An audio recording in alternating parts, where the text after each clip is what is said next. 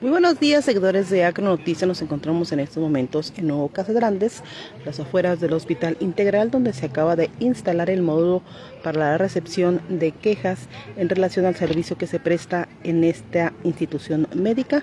Hay que mencionar que últimamente se han ventilado en diferentes medios de comunicación algunas situaciones del mal servicio que se presta y que han puesto en riesgo la vida de personas. Ante ello, la activista Leticia Lara se instaló ya la mañana de este lunes aquí a las afueras del Instituto Mexicano del Seguro, digo, del Integral Hospital Comunitario, conocido mejor como el Hospital Integral, que da atención a toda la región noroeste del estado. Esto con el objetivo de recibir las quejas por escrito. Si usted tiene una queja, tráigala por escrito o bien aquí mismo le levantan su queja. Estas quejas serán dirigidas a la Secretaría de Seguridad Pública Estatal.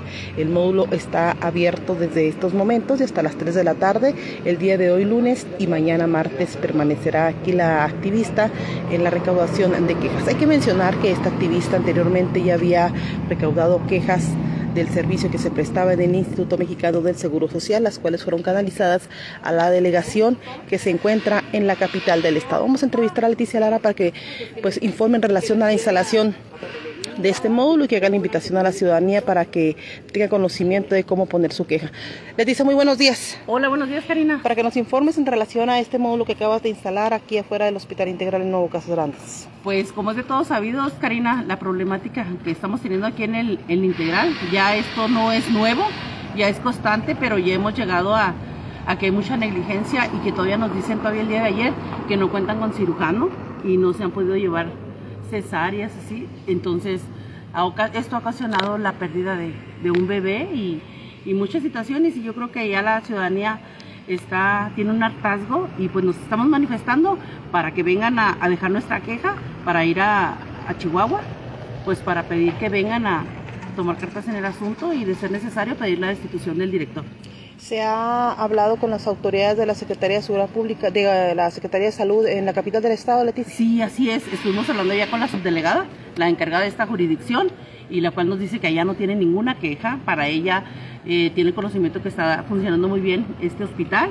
Y pues yo le hice saber que son muchísimas, constantemente las quejas, este, los fallecimientos, la negligencia, y que eso nos da este, la iniciativa para, para llegar a ellos, ya de que dicen que aquí en el buzón de quejas la gente no lo hace.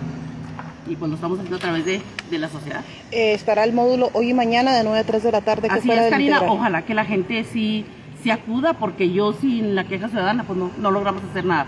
Ojalá que acuden porque es un bien ciudadano. Después del martes estarás acudiendo a la capital del estado a llevar todas las quejas recibidas. Sí, recibiendo las quejas voy con un abogado para interponer bien la, el oficio y posteriormente hacer la cita para que me reciban en Chihuahua.